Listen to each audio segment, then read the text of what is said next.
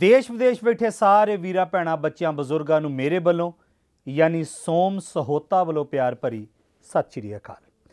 ਦੋਸਤੋ, ਇੱਕ ਬਹੁਤ ਹੀ ਖੂਬਸੂਰਤ ਪ੍ਰੋਗਰਾਮ, ਇੱਕ ਬਹੁਤ ਹੀ ਜਾਣਕਾਰੀ ਭਰਪੂਰ ਪ੍ਰੋਗਰਾਮ ਹੈਲਥ ਕੇਅਰ ਲੈ ਕੇ ਮੈਂ ਹਾਜ਼ਰ ਹੈ। ਏਵਨ ਪੰਜਾਬੀ ਚੈਨਲ ਹਮੇਸ਼ਾ ਇਹ ਕੋਸ਼ਿਸ਼ ਕਰਦਾ ਕਿ ਅਜਿਹੇ ਪ੍ਰੋਗਰਾਮ ਕੀਤੇ ਜਾਣ ਜੋ ਲੋਕਾਂ ਲਈ ਵਰਦਾਨ ਸਿੱਧ ਹੋਣ। ਔਰ ਇਹਨਾਂ ਦਿਨਾਂ ਵਿੱਚ ਤੁਸੀਂ ਜਾਣਦੇ ਹੋ ਕਿ ਜਿਵੇਂ ਜਿਵੇਂ ਮੌਸਮ ਦੇ ਵਿੱਚ ਤਬਦੀਲੀਆਂ ਆਉਂਦੀਆਂ ਨੇ ਔਰ ਮੌਸਮ ਦੇ ਵਿੱਚ ਤਬਦੀਲੀ ਆਉਣ ਕਰਕੇ ਤਰ੍ਹਾਂ ਤਰ੍ਹਾਂ ਦੀਆਂ ਜਿਹੜੀਆਂ ਬਿਮਾਰੀਆਂ, ਉਹ ਇਨਸਾਨ ਨੂੰ ਲੱਗਣੀਆਂ ਸ਼ੁਰੂ ਹੋ ਜਾਂਦੀਆਂ ਨੇ।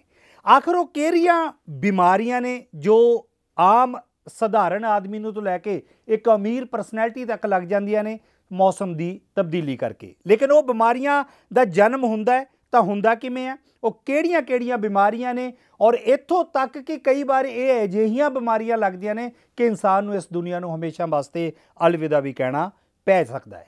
ਔਰ ਦੋਸਤੋ, ਅੱਜ ਇਸ ਪ੍ਰੋਗਰਾਮ ਦਾ ਹਿੱਸਾ ਔਰ ਬਹੁਤ ਹੀ ਮਤਲਬ ਜਾਣਕਾਰੀ ਭਰਪੂਰ ਇਹ ਪ੍ਰੋਗਰਾਮ ਹੈ। ਪਲੀਜ਼ ਇਸ ਪ੍ਰੋਗਰਾਮ ਨੂੰ ਸ਼ੁਰੂ ਤੋਂ ਲੈ ਕੇ ਐਂਡ ਤੱਕ ਜ਼ਰੂਰ ਦੇਖਦੇ ਰਹਿਣਾ ਔਰ ਨੀਚੇ ਕਮੈਂਟ ਵੀ ਕਰਦੇ ਰਹਿਣਾ ਤਾਂ ਕਿ ਡਾਕਟਰ ਸਾਹਿਬ ਨੂੰ ਦੁਬਾਰਾ ਫਿਰ ਆਪਾਂ ਸਟੂਡੀਓ ਵਿੱਚ ਬੁਲਾਈਏ ਔਰ ਆਪ ਸਭ ਦੇ ਰੂਬਰੂ ਕਰੀਏ। ਮੈਂ ਦੱਸਣ ਜਾ ਰਿਹਾ ਜੀ, ਅੱਜ ਸਾਡੇ ਇਸ ਪ੍ਰੋਗਰਾਮ ਦੇ ਮਹਿਮਾਨ ਨੇ, ਸਾਡੇ ਬਹੁਤ ਹੀ ਆਦਰਨੀय ਡਾਕਟਰ ਮਨਜਿੰਦਰ ਸਿੰਘ ਮਾਨ ਸਾਹਿਬ ਨੇ, ਜੋ ਮਾਤਾ ਕੁਸ਼ਲਿਆ ਦੇ ਵਿੱਚ ਬਤੌਰ ਡਾਕਟਰ ਆਪਣੀਆਂ ਸੇਵਾਵਾਂ ਦੇ ਰਹੇ ਨੇ। ਮਾਨ ਸਾਹਿਬ, ਸਭ ਤੋਂ ਪਹਿਲਾਂ ਸਵਾਗਤ ਹੈ ਜੀ। ਸਤਿ ਸ੍ਰੀ ਅਕਾਲ ਜੀ। ਮੌਸਮ ਦੀ ਤਬਦੀਲੀ ਆਉਣ ਕਰਕੇ ਤਰ੍ਹਾਂ ਤਰ੍ਹਾਂ ਦੀਆਂ ਬਿਮਾਰੀਆਂ ਜਿਹੜੀਆਂ ਉਹ ਨਵੀਆਂ ਵੀ ਜਨਮ ਲੈਂਦੀਆਂ ਤੇ ਪੁਰਾਣੀਆਂ ਜਿਹੜੀਆਂ ਬਿਮਾਰੀਆਂ ਉਹ ਵੀ ਮਤਲਬ ਸਿਰ ਕੱਢਣ ਲੱਗ ਪੈਂਦੀਆਂ ਨੇ। ਆਖਰ ਉਹ ਕਿਹੜਾ ਮੌਸਮ ਹੈ ਕਦੋਂ ਹੈ ਕਿ ਜਦੋਂ ਬਿਮਾਰੀਆਂ ਦਾ ਜਨਮ ਹੋਣਾ ਸ਼ੁਰੂ ਹੋ ਜਾਂਦਾ ਹੈ? ਦੇਖੋ ਜੀ ਬਿਮਾਰੀਆਂ ਜਿਹੜੀਆਂ ਇਨਸਾਨ ਨੂੰ ਹਨ ਕੁਝ ਤੇ ਇਸ ਤਰ੍ਹਾਂ ਦੀਆਂ ਨੇ ਜਿਨ੍ਹਾਂ ਤੇ ਵਾਤਾਵਰਣ ਦਾ ਬਹੁਤਾ ਪ੍ਰਭਾਵ ਨਹੀਂ ਪੈਂਦਾ। ਕੁਝ ਇਸ ਤਰ੍ਹਾਂ ਦੀਆਂ ਨੇ ਜਿਹੜੀਆਂ ਵਾਤਾਵਰਣ ਨਾਲ ਸਿੱਧੇ ਤੌਰ ਤੇ ਜੁੜੀਆਂ ਹੋਈਆਂ ਨੇ। ਜਿਵੇਂ ਆਮ ਤੌਰ ਤੇ ਆਪਾਂ ਦੇਖਦੇ ਆ ਗਰਮੀਆਂ ਦੇ ਵਿੱਚ ਲੂਜ਼ ਮੋਸ਼ਨਸ ਜਾਂ ਅੰਤੜੀਆਂ ਤੇ ਰੋਗ ਨੇ। ਜੀ। ਤੇ ਜਦੋਂ ਆਪਾਂ ਸਰਦੀਆਂ ਦੇ ਮੌਸਮ ਦੀ ਗੱਲ ਕਰਦੇ ਆ ਤਾਪਮਾਨ ਠੰਡਾ ਹੋ ਜਾਂਦਾ ਹੈ। ਉਸ ਮੌਸਮ ਦੇ ਵਿੱਚ ਆਮ ਤੌਰ ਦੇ ਉੱਤੇ ਚਮੜੀ ਸੰਬੰਧਿਤ ਬਿਮਾਰੀਆਂ ਨੱਕ ਕੰਨ ਗਲੇ ਦੀਆਂ ਜਿਹਨੂੰ ਆਪਾਂ ਈਐਨਟੀ ਪ੍ਰੋਬਲਮਸ ਕਹਿੰਦੇ ਆ ਜੀ। ਸਕਿਨ ਨਾਲ ਪ੍ਰੋਬਲਮਸ ਹੋ ਗਈਆਂ ਛਾਤੀ ਫੇਫੜਿਆਂ ਦੀਆਂ ਬਿਮਾਰੀਆਂ ਹਾਰਟ ਨਾਲ ਸੰਬੰਧਿਤ ਬਿਮਾਰੀਆਂ ਦੇ ਵਿੱਚ ਵਾਧਾ ਹੋ ਜਾਂਦਾ ਹੈ। ਤੇ ਜਿਹੜੇ ਸਮੋਕਰਸ ਨੇ ਸੀਓਪੀਡੀ ਅਸੀਂ ਇੱਕ ਬਿਮਾਰੀ ਦਾ ਨਾਮ ਯੂਜ਼ ਕਰਦੇ ਹੁੰਦੇ ਆ ਬ੍ਰੌਡਲੀ ਜੀ। ਤੇ ਉਹ ਬਿਮਾਰੀਆਂ ਜਿਹੜੀਆਂ ਨੇ ਉਹਨਾਂ ਦੀ ਵਰਸਨਿੰਗ ਹੋ ਜਾਂਦੀ ਹੈ। ਜੀ। ਤੇ ਇਸ ਦੇ ਵਿੱਚ ਖਾਸ ਧਿਆਨ ਰੱਖਣ ਦੀ ਲੋੜ ਹੁੰਦੀ ਹੈ। ਡਾਕਟਰੀ ਸਲਾਹ ਦੀ ਬਕਾਇਦਾ ਲੋੜ ਹੁੰਦੀ ਹੈ ਪਰਹੇਜ਼ ਦੀ ਲੋੜ ਹੁੰਦੀ ਹੈ ਨਹੀਂ ਤਾਂ ਇਹ ਬਿਮਾਰੀਆਂ ਘਾਤਕ ਵੀ ਸਾਬਤ ਹੋ ਜਾਂਦੀਆਂ ਨੇ। ਅੱਛਾ ਡਾਕਟਰ ਸਾਹਿਬ ਕਈ ਵਾਰੀ ਜਿਵੇਂ ਸਟਾਰਟਿੰਗ ਦੇ ਵਿੱਚ ਆਪਾਂ ਗੱਲ ਕੀਤੀ ਸੀ ਕਿ ਨਾੜ ਨੂੰ ਜਿਹੜੀ ਅੱਗ ਲਾਉਂਦੇ ਆ ਕਿਸਾਨ ਜ਼ਿਆਦਾ ਕਰਕੇ ਪੋਲੂਸ਼ਨ ਜਿਹੜਾ ਫੈਲਦਾ। ਉਸ ਵੇਲਾ ਵੀ ਕਿਹਾ ਜਾਂਦਾ ਕਿ ਜਦੋਂ ਨਾੜ ਦੀ ਜਿਹੜੀ ਅੱਗ ਦੀ ਉਹ ਮਤਲਬ ਜਿਹੜਾ ਧੂਆਂ ਹੁੰਦਾ ਜਦੋਂ ਜਦੋਂ ਘਰਾਂ 'ਚ ਐਂਟਰ ਕਰਦਾ ਸਾਡੀਆਂ ਅੱਖਾਂ ਦੇ ਔਰ ਸਾਡੀ ਸਕਿਨ ਤੇ ਬਹੁਤ ਖਾਰਿਸ਼ ਹੋਣੀ ਸ਼ੁਰੂ ਹੋ ਜਾਂਦੀ ਹੈ। ਬਿਲਕੁਲ ਹੁੰਦਾ ਜੀ ਜਦੋਂ ਨਾੜ ਨੂੰ ਅੱਗ ਲਾਈ ਜਾਂਦੀ ਹੈ ਜੀ ਉਹਨਾਂ ਦਿਨਾਂ ਦੇ ਵਿੱਚ ਸਾਡੇ ਕੋਲੇ ਹਸਪੀਟਲਸ ਦੇ ਵਿੱਚ ਕਾਰਨੀਅਲ ਇੰਜਰੀਜ਼ ਜੀ। ਅੱਖਾਂ ਦੇ ਵਿੱਚ ਜਿਹੜੀਆਂ ਰੜਕ ਪੈਣਾ ਜਾਂ ਇਵਨ ਕਰਾ ਪੈ ਗਿਆ ਫੋਰਨ ਬਾਡੀ ਬੋਲਦੇ ਆ ਜਿਹਨੂੰ ਪੰਜਾਬੀ ਚ ਆਪਾਂ ਕਹਿੰਦੇ ਨੇ ਕਰਾ ਪੈ ਗਿਆ ਜੀ। ਜੀ ਜੀ। ਸੋ ਇਸ ਤਰ੍ਹਾਂ ਦੀਆਂ ਐਕਸੀਡੈਂਟਲ ਇੰਜਰੀਜ਼ ਦੇ ਬਹੁਤ ਪੇਸ਼ੈਂਟ ਆਉਂਦੇ ਨੇ। ਔਰ ਜਿਹੜੇ ਚੈਸਟ ਅਲਰਜੀਜ਼ ਵਾਲੇ ਪੇਸ਼ੈਂਟ ਹੈ ਉਹਨਾਂ ਦੇ ਵਿੱਚ ਬੇਤਹਾਸ਼ਾ ਵਾਧਾ ਹੋ ਜਾਂਦਾ ਹੈ ਜੀ। ਜੀ। ਅਸਥਮਾ ਦੇ ਪੇਸ਼ੈਂਟਸ ਨੇ ਜਾਂ ਬੱਚੇ ਨੇ ਛੋਟੇ ਉਹ ਸੋ ਨਹੀਂ ਪਾਉਂਦੇ ਪ੍ਰੋਪਰਲੀ ਜਿਹੜੇ ਬਜ਼ੁਰਗ ਨੇ ਸਾਡੇ ਘਰਾਂ ਦੇ ਅੰਦਰ ਬੈਠੇ ਨੇ ਜੀ। ਉਹ ਅੱਛੀ ਤਰ੍ਹਾਂ ਉਹਨਾਂ ਨੂੰ ਮਤਲਬ ਨੀਂਦ ਨਹੀਂ ਆਉਂਦੀ ਖਾਂਸੀ ਜ਼ਿਆਦਾ ਰਹਿਣ ਲੱਗ ਜਾਂਦੀ ਹੈ। ਜੀ। ਔਰ ਇਨਡੋਰ ਪੋਲਿਊਸ਼ਨ ਵੈਸੇ ਹੀ ਇੱਕ ਅਲੱਗ ਤੋਂ ਇੱਕ ਮੁੱਦਾ ਹੈ ਪਰ ਉਸ ਸੀਜ਼ਨ ਦੇ ਵਿੱਚ ਸਾਰਾ ਵਾਤਾਵਰਣ ਹੀ ਦੂਸ਼ਿਤ ਹੈਗਾ ਤੇ ਆਬਵੀਅਸਲੀ ਇਨਡੋਰ ਪੋਲਿਊਸ਼ਨ ਹੋਰ ਜ਼ਿਆਦਾ ਵੱਧ ਜਾਂਦਾ ਜੀ। ਹੂੰ। ਸੋ ਇੱਕ ਬਹੁਤ ਵੱਡਾ ਇਹ ਇੱਕ ਪ੍ਰੋਬਲਮ ਹੈ ਕਿਸਾਨ ਵੀਰ ਆਪਣੀ ਥਾਂ ਜਾਇਜ਼ ਨੇ ਉਹਨਾਂ ਕੋਲੇ ਆਲਟਰਨੇਟਿਵਸ ਨਹੀਂ ਹੈ। ਕੋਈ ਹੈ ਨਹੀਂ ਹੈ। ਤੇ ਪਰ ਦੂਸਰੀ ਜਗ੍ਹਾ ਇਹ ਹੈ ਕਿ ਐਜ਼ ਹੈਲਥ ਪ੍ਰੋਫੈਸ਼ਨਲ ਅਸੀਂ ਵੀ ਤੰਗ ਹੈ ਵੀ ਅਸੀਂ ਚਾਹੁੰਦੇ ਆ ਵੀ ਇਸ ਤੋਂ ਨਿਜਾਤ ਮਿਲੇ।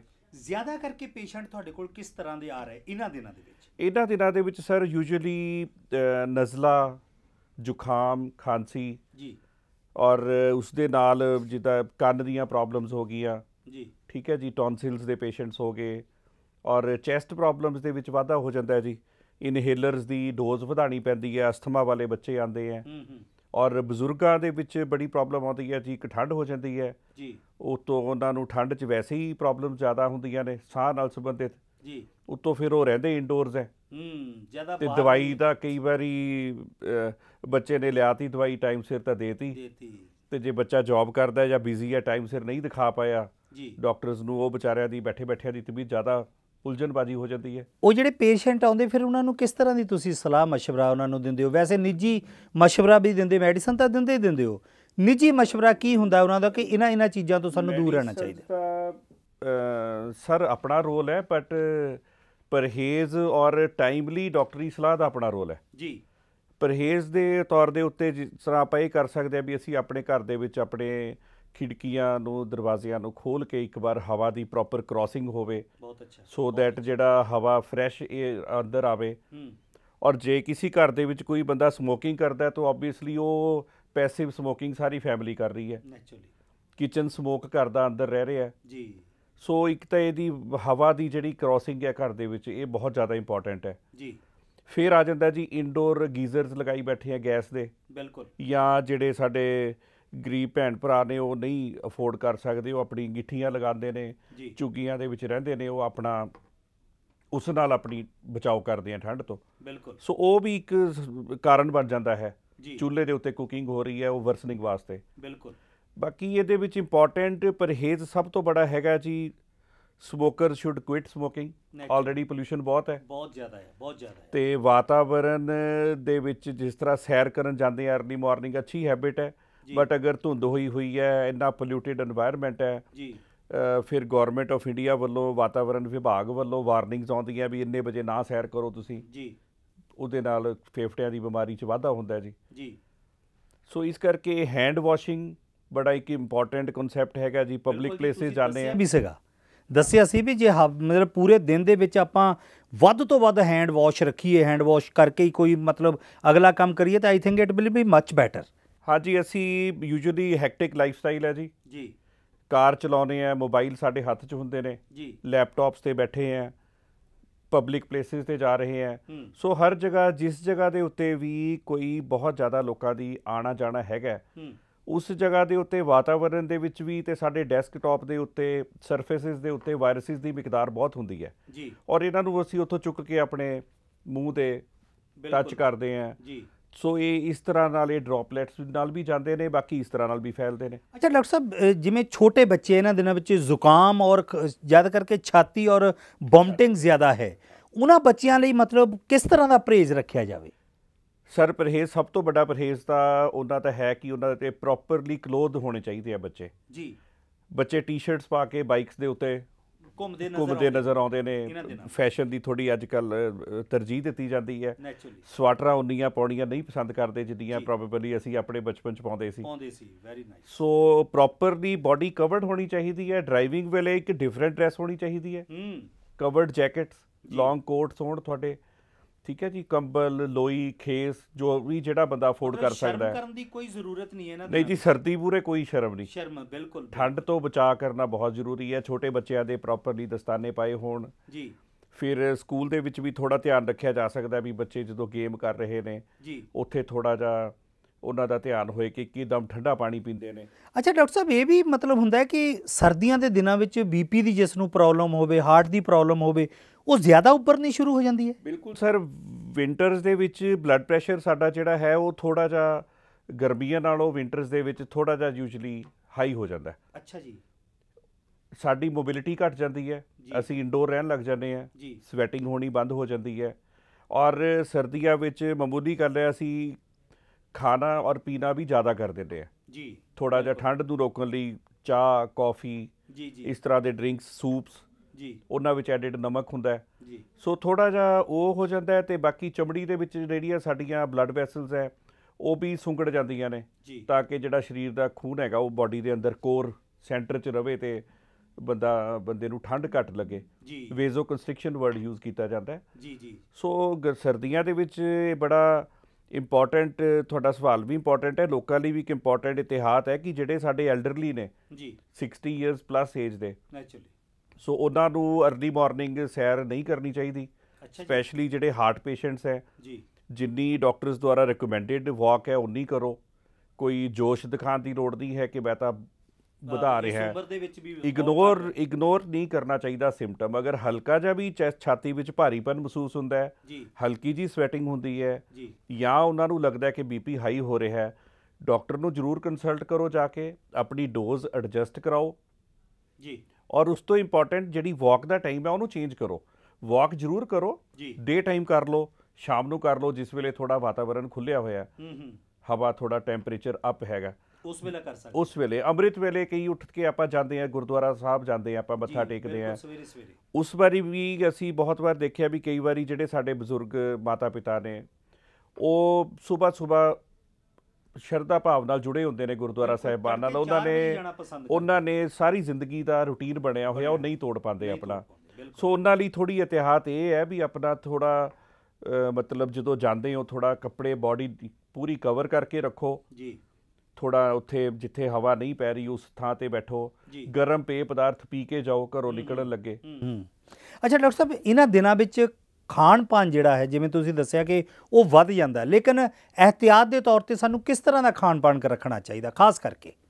ਸਰ ਸਾਡੇ ਜਿਹੜਾ ਪੰਜਾਬ ਹੈ ਆਪਣਾ ਜਿਵੇਂ ਇਹ ਤਿਉਹਾਰਾਂ ਦਾ ਸੂਬਾ ਗਿਣਿਆ ਜਾਂਦਾ ਹੈ। ਬਿਲਕੁਲ। ਠੀਕ ਹੈ ਜੀ ਤੇ ਸਰਦੀਆਂ ਦੀ ਆਮਦ ਦਾ ਮਤਲਬ ਹੁੰਦਾ ਹੈ ਵੀ ਰਿਉੜੀਆਂ ਗੱਚਕ ਮੂੰਗਫਲੀਆਂ ਪੰਜੀਰੀਆਂ ਜੀ ਜੀ ਜੀ। ਤੇ ਵਿਆਹਾਂ ਦਾ ਮੌਸਮ ਆ ਜਾਂਦਾ ਭਾਜੀ ਸੀਜ਼ਨ ਸ਼ੁਰੂ ਹੋ ਜਾਂਦਾ। ਬਿਲਕੁਲ। ਸੋ ਉਸ ਦੇ ਵਿੱਚ ਵੱਧ ਪਰਹੇਜ਼ੀ ਹੋਣੀ ਲਾਜ਼ਮੀ ਹੈ। ਔਰ ਪੰਜਾਬੀ ਵਿਆਹ ਜਿਹੜੇ ਨੇ ਉਹ ਤੁਹਾਨੂੰ ਪਤਾ ਹੈ ਕਿ ਇਹ ਕਈ ਕਈ ਦਿਨ ਫਿਰ 15 15 ਦਿਨ ਖਾਣ ਪੀਣ ਚੱਲਦੇ ਨੇ। ਚੱਲਦੇ ਬਿਲਕੁਲ। ਸੋ ਉਹਦੇ ਚ ਅੱਛਾ ਵੀ ਹੈ ਆਪਣੇ ਫੰਕਸ਼ਨਸ ਬਣਾਓ ਸਾਰਾ ਕੁਝ ਕਰੋ।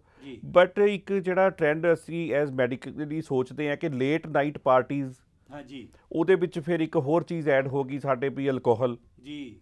ਮਤਲਬ ਇਹ ਮਤਲਬ ਇੱਕ ਫੈਸ਼ਨ ਮਤਲਬ ਪੰਜਾਬੀਆਂ ਨੇ ਬੜਕ ਮਾਰਨੀ ਹੈ ਤਾਂ ਉਹਨਾਂ ਨੇ ਕਹਿਣਾ ਵੀ ਮੈਂ ਤਾਂ ਪੀਣੀ ਹੈ। ਬਿਲਕੁਲ ਉਸ ਤੋਂ ਬਿਨਾ ਬੜਕ ਨਹੀਂ ਬਚਦੀ। ਬੜਕ ਨਹੀਂ ਮਾਰਦੇ ਪਰ ਉਹ ਜਿਹੜੀ ਬੜਕ ਹੈਗੀ ਆ ਉਹ ਦੂਸਰੇ ਪਾਸੇ ਉਹਨਾਂ ਦੇ ਲਿਵਰ ਦੀ ਵੀ ਬੜਕ ਵੱਜਦੀ ਪਈ ਹੈ। ਉਹਦੇ। ਵਿੱਚ ਚੀਕ ਨਿਕਲ ਜਾਂਦੀ ਉਹਨਾਂ ਦੀ। ਮਤਲਬ ਆਪਾਂ ਆਪਣੇ ਲਿਵਰ ਨੂੰ ਪੂਰੀ ਤਰ੍ਹਾਂ ਨਾਲ ਖਰਾਬ ਕਰਦੇ ਪਏ ਆ ਬਿਲਕੁਲ। ਐਕਸੈਸ ਆਫ ਫੈਟ ਖਾ ਰਹੇ ਆ ਆਪਾਂ। ਜੀ।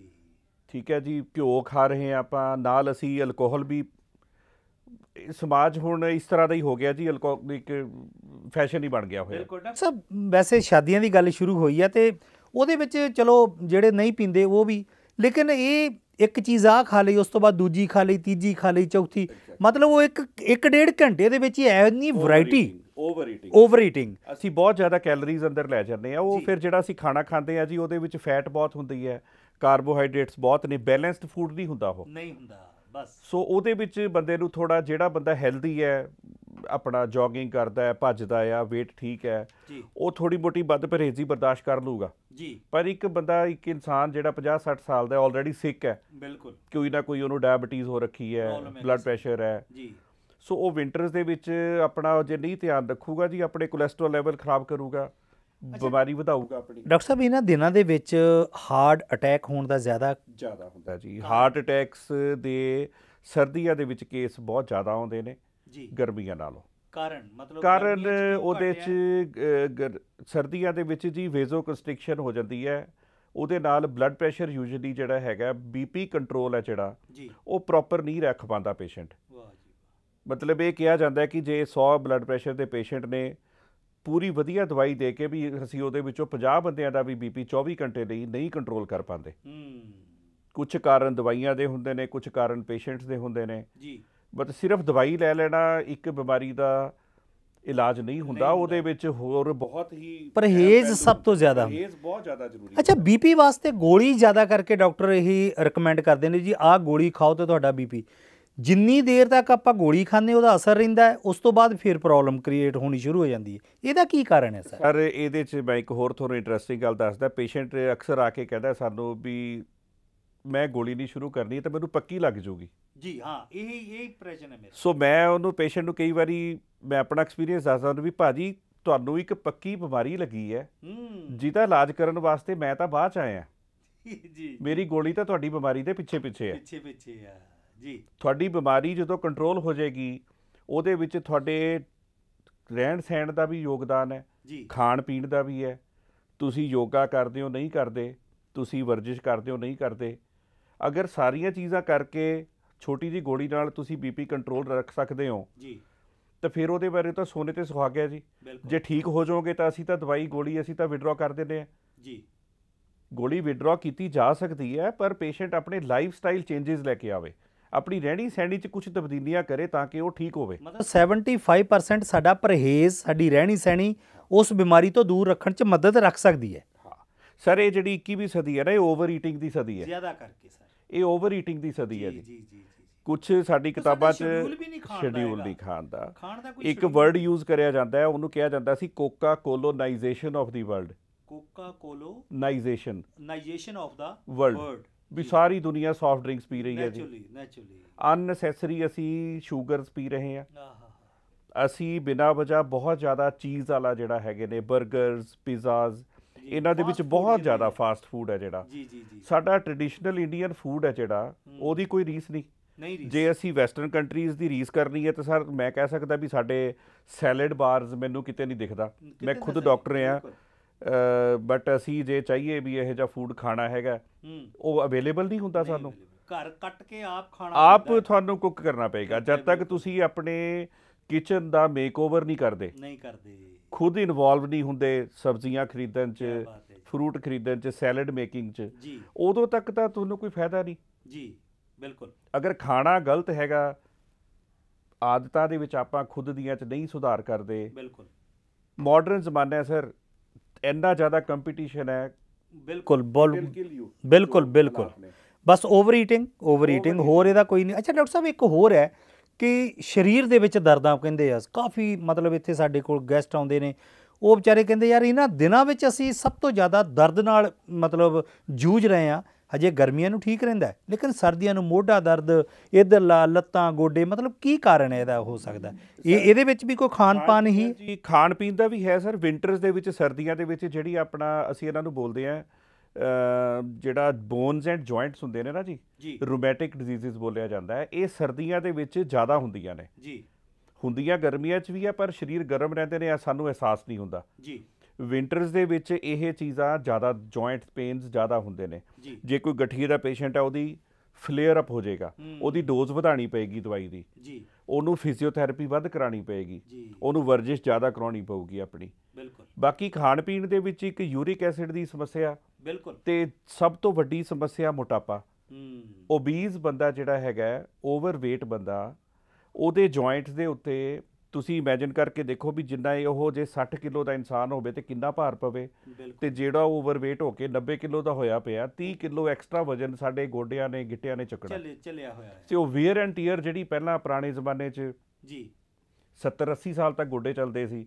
ਤੇ ਹੁਣ ਤਾਂ 50 ਸਾਲ ਤੋਂ ਬਾਅਦ ਉਹ ਗੋਡਿਆਂ ਦੇ ਆਪਰੇਸ਼ਨ ਇੰਨੇ ਪ੍ਰਚਲਿਤ ਹੋ ਗਏ। ਜੀ ਜੀ ਜੀ। ਵੀ ਬਦਲਾਉਣੇ ਪੈ ਰਹੇ ਆ ਲੋਕਾਂ ਡਾਕਟਰ ਸਾਹਿਬ ਕਦੇ ਸੋਚਿਆ ਕਿ 60 70 ਸਾਲ ਵਾਲੇ ਵਾਲੇ ਜਿਹੜੇ ਕਿ 80 ਸਾਲ ਤੱਕ ਤੁਸੀਂ ਜ਼ਿਕਰ ਕੀਤਾ ਉਹ ਅੱਜ ਵੀ ਦਰੁਸਤ ਨੇ? ਅੱਜ ਵੀ ਮਾਸ਼ਾਅੱਲਾ ਉਹਨਾਂ ਦੇ ਗੋਡੇ 'ਚ ਦਰਦ ਨਹੀਂ ਗਿੱਟਿਆਂ 'ਚ ਦਰਦ ਨਹੀਂ। ਅੱਜ ਕਿਉਂ ਅਸੀਂ ਇਸ ਪ੍ਰੋਬਲਮ ਨਾਲ ਜੂਝ ਰਹੇ ਹਾਂ? ਸਰ ਉਹ ਆਪਣੇ ਜਦੋਂ ਪੜਨ ਜਾਂਦੇ ਸੀ ਉਹ 8-8 10-10 ਕਿਲੋਮੀਟਰ ਤੁਰ ਕੇ ਜਾਂਦੇ ਸੀ। ਵਾਹ ਜਾਂ ਫਿਰ ਜਿਹੜੇ ਅਫੋਰਡ ਕਰਦੇ ਸੀ ਸਾਈਕਲ ਤੇ ਜਾਂਦੇ ਸੀ ਜੀ। ਜੀ। ਸਾਡੇ ਫਾਦਰ 10-12 ਕਿਲੋਮੀਟਰ ਦੂਰ ਸਾਈਕਲ ਤੇ ਪੜਨ ਜਾਂਦੇ ਸੀ ਜੀ। ਤੇ ਅਸੀਂ ਸਾਡੇ ਬੱਚੇ ਸਰ 8ਵੀਂ 9ਵੀਂ ਤੋਂ ਹੁਣ ਬਾਈਕਸ ਲੈ ਕੇ ਕਨੈਟਿਕਸ ਤੇ ਮੋਟਰਸਾਈਕਲਾਂ ਤੇ ਨੇ ਜੀ। ਬਿਲਕੁਲ ਬਿਲਕੁਲ। ਮਤਲਬ ਬਿਮਾਰੀਆਂ ਨੂੰ ਆਪਾਂ ਖੁਦ ਸੱਦਾ ਦੇ ਰਹੇ Walking ਨੂੰ ਅਸੀਂ ਭੁੱਲ ਚੁੱਕੇ ਹਾਂ ਹਾਂ ਜੀ। ਬਿਲਕੁਲ ਬਿਲਕੁਲ। ਸਾਈਕਲਿੰਗ ਨੂੰ ਅਸੀਂ ਭੁੱਲ ਚੁੱਕੇ ਹਾਂ। ਬਟ ਇੱਕ ਅੱਛੀ ਚੀਜ਼ ਇਹ ਹੈ ਵੀ ਪਿਛਲੇ 3-4 ਸਾਲਾਂ ਤੋਂ ਸਾਡੇ ਪਟਿਆਲੇ 'ਚ ਵੀ ਵਰਲਡ ਵਾਈਡ ਵੀ ਜੀ। ਸਾਈਕਲਿੰਗ ਦਾ ਬਹੁਤ ਇੱਕ ਟ੍ਰੈਂਡ ਉੱਭਰ ਕੇ ਸਾਹਮਣੇ ਆ ਰਿਹਾ ਹੈ। ਬਿਲਕੁਲ ਕੋਈ ਸ਼ੱਕ ਸੋ ਅਸੀਂ ਉਹਦੇ ਵਿੱਚ ਦੇਖਿਆ ਵੀ ਸਾਡੇ ਡਾਕਟਰਸ ਵੀ ਪਾਰਟਿਸਿਪੇਟ ਕਰਦੇ ਹੈ। ਜੀ। ਸੋ ਗਰੁੱਪਸ ਬਣੇ ਹੋਏ ਨੇ। ਜੀ ਜੀ ਜੀ। ਅਰਲੀ ਮਾਰਨਿੰਗ ਉਹ ਜਾਂਦੇ ਨੇ 20 20 50 50 ਕਿਲੋਮੀਟਰ ਸਾਈਕਲਿੰਗ ਕਰਦੇ ਆ ਸੋ ਉਹ ਉਹ ਰੁਝਾਨ ਬਹੁਤ ਅੱਛਾ ਹੈ ਅਸੀਂ ਉਹਨੂੰ ਬੜਾ ਪ੍ਰਮੋਟ ਕਰ ਰਹੇ ਹਾਂ ਉਸ ਨੂੰ ਤੁਹਾਡੇ ਕੋਲ ਡਾਕਟਰ ਸਾਹਿਬ ਮਤਲਬ ਕਿਸ ਪੀੜ੍ਹੀ ਦੇ ਸਭ ਤੋਂ ਜ਼ਿਆਦਾ ਪੇਸ਼ੈਂਟ ਆ ਸਰ ਸਾਡੇ ਕੋਲੇ ਜ਼ਿਆਦਾਤਰ ਜਿਹੜਾ ਪੇਸ਼ੈਂਟ ਹੈਗਾ ਉਹ ਤਕਰੀਬਨ 50 ਤੋਂ 70 ਇਅਰਸ ਤੱਕ ਦਾ ਪੇਸ਼ੈਂਟ ਜ਼ਿਆਦਾ ਹੈ। ਜ਼ਿਆਦਾ ਹੁੰਦਾ ਜ਼ਿਆਦਾ ਹੈ। ਜਿਹੜੇ ਯੂਥ ਵਾਲੇ ਕੁਛ ਇੱਕ ਆਉਂਦੇ ਆ ਜਿਵੇਂ ਤਾਂ ਆਪਾਂ 30% ਦੀ ਗੱਲ ਕਰ ਲਈਏ ਉਹਨਾਂ ਨੂੰ ਕਿਸ ਬਿਮਾਰੀ ਦੇ ਉਹ ਸ਼ਿਕਾਰ ਹੋਏ ਆ? ਸਰ ਯੂਥ ਵਾਲੇ ਜ਼ਿਆਦਾ ਅੱਜਕੱਲ ਜਿਹੜਾ ਸ਼ਿਕਾਰ ਹੋ ਰਹੇ ਨੇ ਜੀ ਇੱਕ ਤਾਂ ਯੰਗ ਏਜ ਦੇ ਵਿੱਚ ਹਾਈ ਬਲੱਡ ਪ੍ਰੈਸ਼ਰ ਜੀ।